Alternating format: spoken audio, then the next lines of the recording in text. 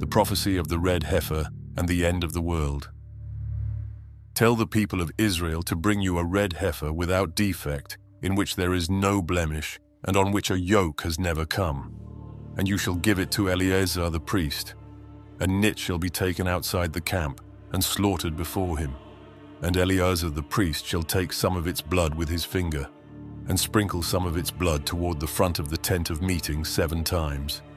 And the heifer shall be burned in his sight.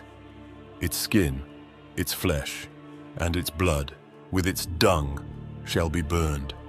And the priest shall take cedar wood and hyssop and scarlet yarn, and throw them into the fire, burning the heifer.